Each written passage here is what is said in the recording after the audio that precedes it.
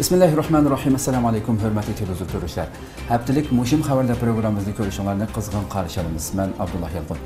Programmamizda bir hafta ichida vatanimiz sharq turkiston va dunyo kun tartibiga aloqador bo'lib o'tgan eng muhim xabarlarni huzurlarga sunamiz qaynab sizlar ekranimizda bo'lsin.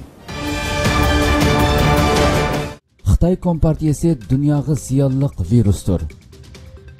Amerika ovozining 23 noyabrdagi xabarda bildirilishicha shimoliy amerikadagi donliq bexatarlik munbiri eng yangi dokumentini e'lon qilib 2020 yilda demokratik davlatlarning xitoyga bo'lgan qarishida to'liq burilish hosil bo'lganligini ularning yangi o'rtaq tushunchasida xitoy kompartiyasining dunyoga ziyon yetkazadigan virus deb qaralayotganligini ko'rsatib o'tgan. Xabarda bildirilishicha bosh shtabi kanadaga joylashgan halifax xalqaro bexatarlik munbiri oldingi hafta oxirida xitoy va demokratik davlatlar bu asrdagi eng cho'ng tutishush nomli kitobchini e'lon qilgan. Munbarning raisi peter van prag mazkur dokladning kirish so'zida 2020 yili demokratik dunyoning xitoy kompartiyasiga tutgan pozitsiyasida tubdan o'zgarish bo'ldi.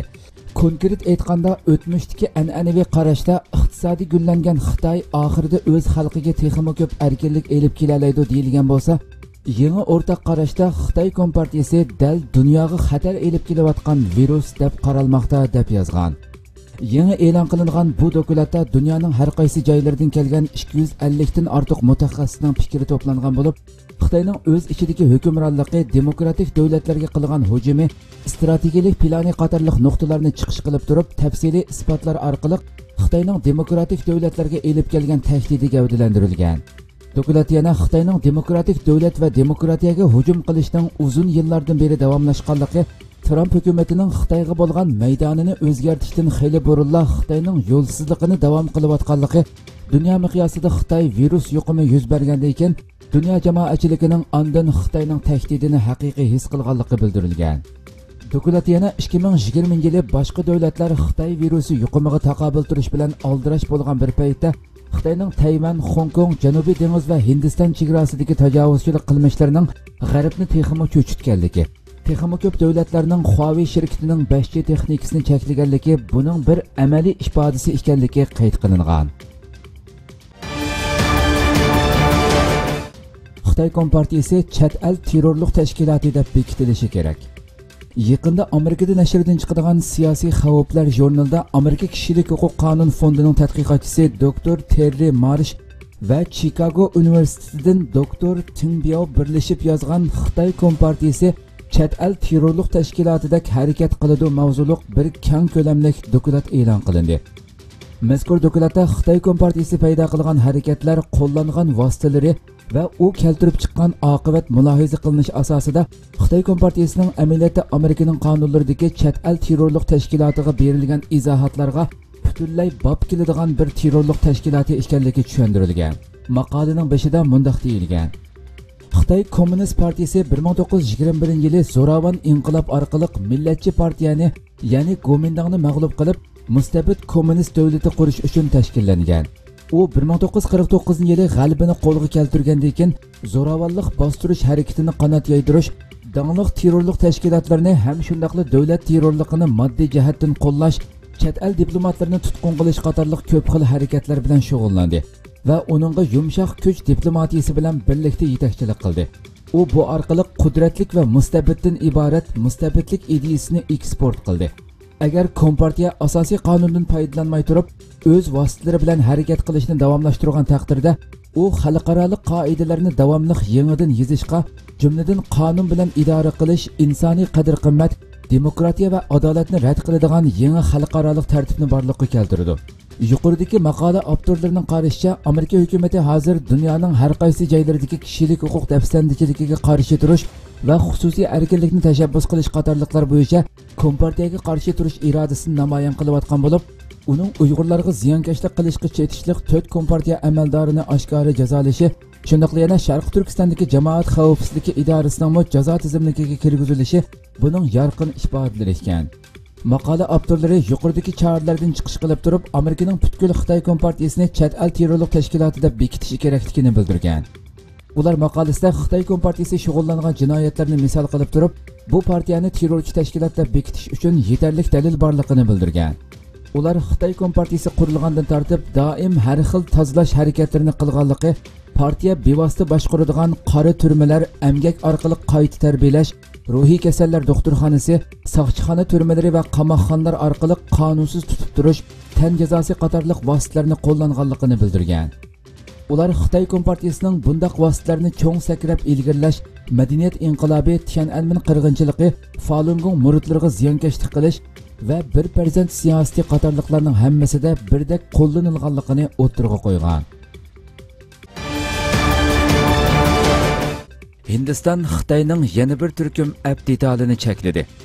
Amerika ovozining xabarida bildirilishicha hindiston 24 noyabr yana 43 app detalni cheklaganligini e'lon qilgan bo'lib bularning ko'pinchisi xitoyning ekan xabarda qayd qilinishicha hindiston elektron va uchur texnika ministrligi seshanba kuni bayonot e'lon qilib bu qarorning aloqador belgilimlarga asosan chiqarilganligini cheklangan detallarning hindistonning egilik huquqi zimin butunligi va davlat bexatarligiga tahdid shakllantirganligini bildirgan. Bu qitim cheklangan xitoyning app detallari ichida alibaba shirkitining alpay ali express qatorliq bir necha muhim applarmi bor ekan. Ma'lum bo'lishicha hindiston bu yil 9 oyda xitoyning 118 xil yonfun app detalini cheklagan bo'lib ishlatguchilarning sonliq ma'lumotlarini bu detallar bilan o'rtoqlashishning hindistonga tahdid bo'lishi mumkinligini o'tirg'a qo'ygan edi. Xitoy savdo ministrligi bayonotchisi gaufang buningga inkos bildirib hindistonning qaroridan qattiq andisha qiladiganligini va qat'iy qarshi turadiganligini bildirgan edi. Mayk pompeo Nuremberg sotining 75 yillik xotira kunida uyg'ur masalasini tilga oldi. Amerika tashqi ishlar ministri Mike pompeo natsist urush jinoyatchilari ustidan ochilgan Nuremberg sotining 75 yillik xotira kunida uyg'ur masalasini alohida tilga oldi va xitoy kompartiyasining uyg'urlarga qaratgan bostirishlarga qarshi so'zlashni davom qiladiganligini bildirdi. Bu haqda fikr yurgizgan analizchilar buning xitoy kompartiyasining uyg'urlar ustidan yurgizayotgan jinoyatlarining hamon bir kuni javobgarlikqa tortildiganligidan derak beradiganligini bildirishdi.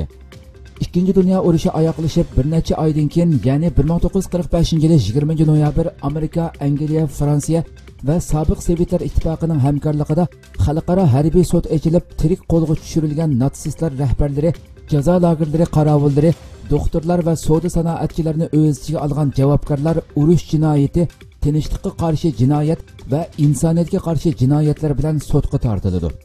Sud germaniyaning nurenburg shahrida ochilgan bo'lg'achqa dunyo tarixida nurenburg soti deb ataladi. Tarixiy ahamiyatga ega mazkur sud ochilganligining 75 yilligini xotirlash munosabati bilan so'z qilgan amerika tashqi ishlar ministri mayk pompeo natsistlarning urush jinoyatlari zo'r qirg'inchiligi va jazo lagerlarida o'tkazgan vahshiyliklarni hargizmi unutib qolg'ili bo'lmaydiganligini aytdi mayk pompeyoning nutqida alohida diqqat chekadigan bir nuqta bo'lsa insoniy qadr qimmatga qarshi navbatdagi hujumlar qatorida sharqi turkistonda davom qilayotgan bostirishlarni tilga elishi edi. Mayk pompeyo mundoq dedi. Amerika yanada hushyor va qat'iy bo'lib eng oliy g'oyalarimizni himoya qiladi. Biz bilan birga turgan ittifoqdoshlarimiz va sheriklarimizga minnatdorlik bildirdi.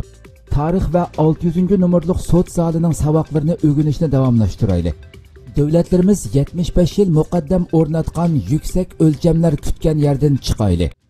Insoniy qadr qimmatga qarshi hujumlarni qayerda ko'rsak mayli ular har xil razillik darajasidagi antisemitizm yoki xitoy kommunist partiyasining sharqi turkistonni bostirishi bo'lsin dodil holda ularga qarshi so'zlaydi. Bu haqda to'xtalgan turkiya hojatapa universitetining dotsenti doktor erkin akramning bildirishicha mayk pompeo bu orqali xitoyningmi uyg'urlarga qarshi irqiy qirg'inchilik jinoyati sodir qilayotganligini bildirmoqchi bo'lgan.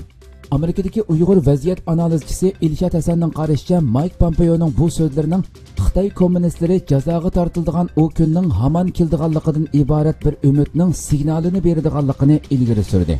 Bu haqda to'xtalgan amerikadagi siyosiy obzorchi gordon chang apandim xitoyning sharqi turkistonda insoniyatga qarshi jinoyatlar emas balki yana irqiy qirg'inchilik jinoyatini sodir qilayotganligini bildirdi.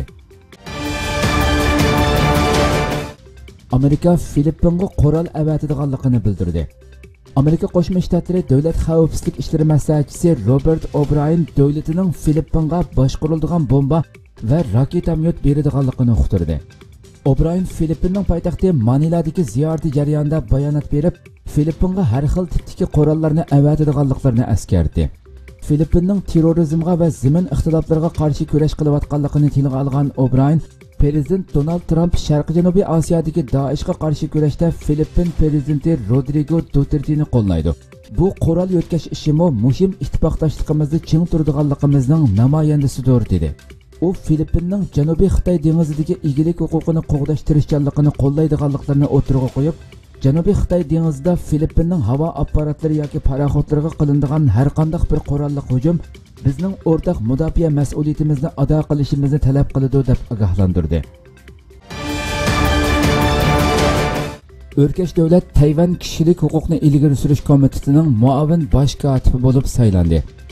24 noyabr tayvan qonun palatasi partiya hal qilgan kishilik huquqni ilgari surish komitetini qurib chiqqan bo'lib o'rkash davlat komitetining muavin bosh kotibligiga saylangan. Ma'lum bo'lishicha mazkur komitet tayvan nusxasidagi magnitiskiy qonuniga turtki bo'lish shundoqli xong kong tibat va sharqi turkistondagi kishilik huquq masalasiga ko'ngil bo'lishni nishon qiladi ekan. Ayni vaqtdagi tiananmen o'quvchilar harakatining boshlamchilaridan biri bo'lgan o'rkash davlat mazkur komitetining muavin bosh kotibi bo'lib saylangan. U yig'inda so'z qilib tayvan bilan xitoyning bir davlat emasligini tayvanning kishilik huquqni o'z kimligi qilgan asosda shundoqla yordam suyar davlat sifatida xalqarodagi tegishlik o'rniga erishishini umid qildiganligini bildirgan. Turkiya parlamentidagi xamkot muzokara yig'inida uyg'ur masalasi o'tirg'a qo'yildi. Har yilning oxirida turkiya parlamentida har qaysi ministrliklarning keyingi yillik xamkoti muzokara qilinib bekitiladi 24 noyabr kuni turkiya parlamentidagi tashqi ishlar ministrligining 2021 yillik xamkotini muzokara qilish yig'inida iyi partiyasining muavin raisi parlament a'zosi peshqadam diplomati ahmad kamol ar o'zan apandi tashqi ishlar ministrligini uyg'ur masalasiga ko'ngil bo'lmadi deb aybladi.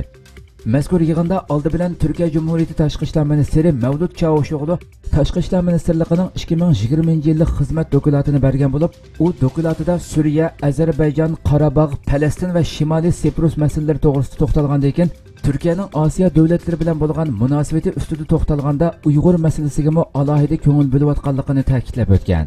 U so'zida qimmatli parlament a'zolari 21 asrni osiyo davlatlari shakllantirdi degan o'y fikr bilan o'tgan yildan tortib osiyo davlatlari bilan bo'lgan munosabatimizni taraqqiy qildirish siyosatini elib beryapmiz biz bir tarafdan osiyodagi eng chong tijorat sherikimiz bo'lgan xitoy bilan munosabatimizni kuchaytirishga tirishsak yana bir tarafdan qon qarindishimiz bo'lgan uyg'ur turklarining xitoylar bilan tang barobar tinchlik va farovonlik ichida turmush kechirishini amalga oshirish ularning kishilik huquqi diniy e'tiqod erkinligi va madaniy haq huquqlarini qo'lga keltirishidek masalalarni xitoy davlat rahbarlari bilan elib borgan uchrashishlarda o'tirg'a qo'ydik. Bu vaqtdagi ko'z qarashlarimizni birlashgan millatlar tashkilotiga o'xshash xalqaro so'rinlarda ham o'tirg'a qo'ydik.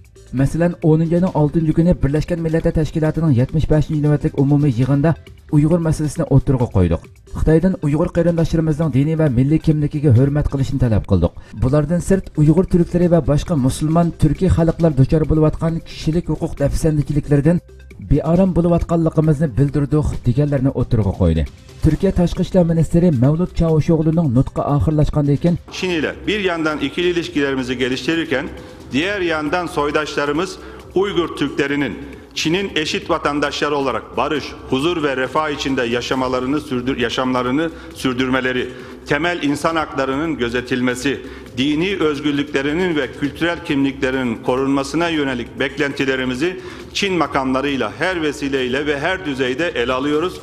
Bu konudaki milli çizgimizi BM başta olmak üzere uluslararası platformlarda da ulusal beyanlarla kayda geçiriyoruz. Son olarak 6 Ekim günü BM 75. Genel Kurulu 3. Komite toplantısında Uygun Türk, Uygur Türkleri konusunda beklentilerimizi kayda geçirdik.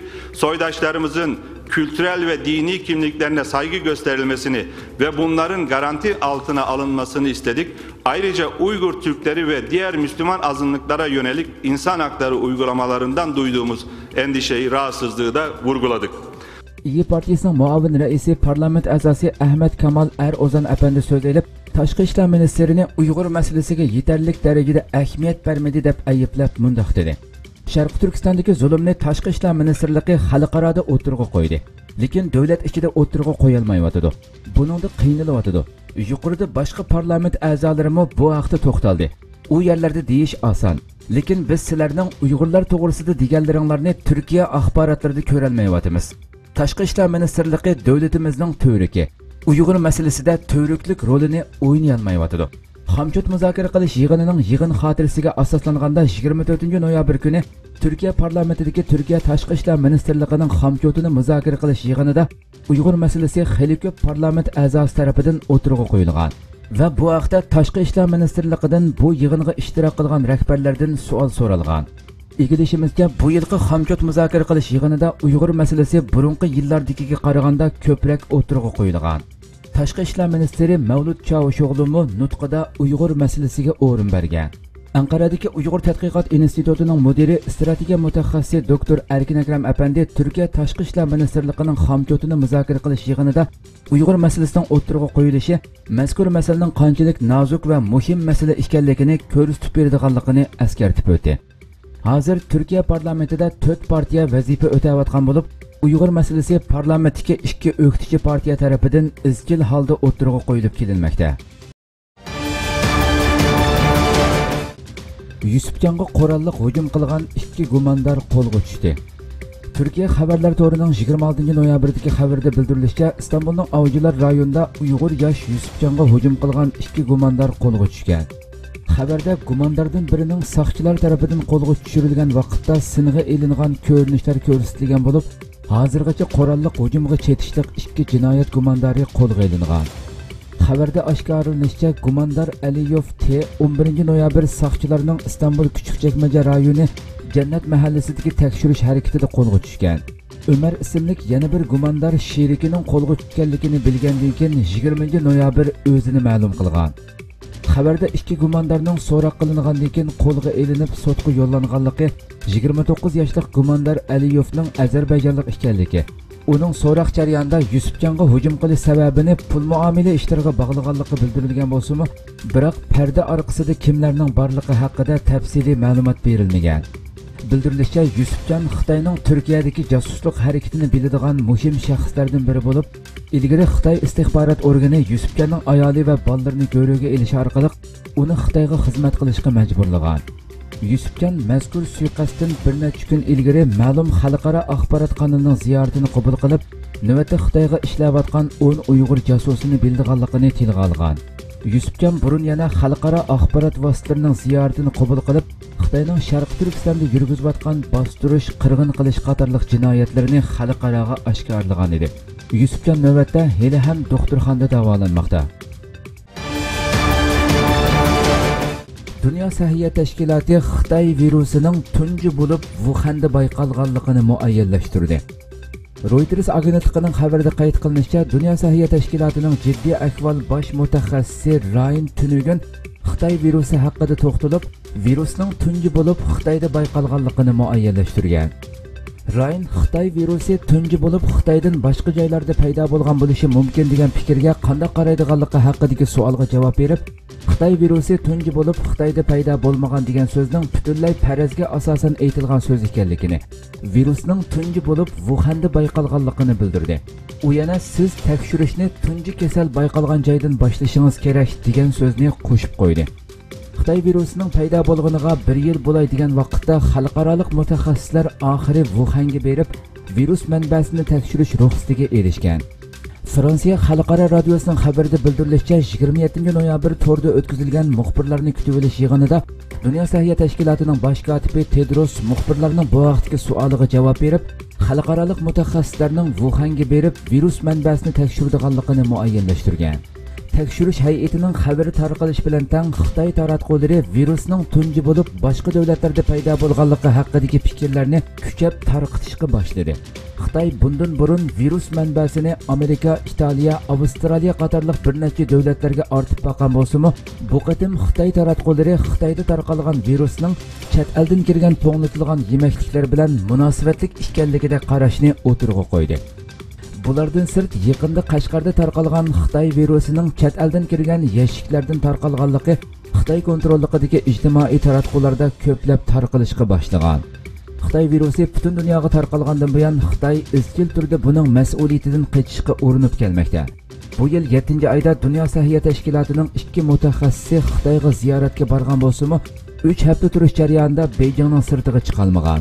Dünya Səhiyyə Təşkilatının 50 neçə diplomatiya amaldoridan erishilgan ichki materiallar va ziyoratlarga asoslanganda mutaxassislarning virus manbasini tekshirish talabi Xitoyning o'xshamagan darajadagi to'sqinliklarga uchirgan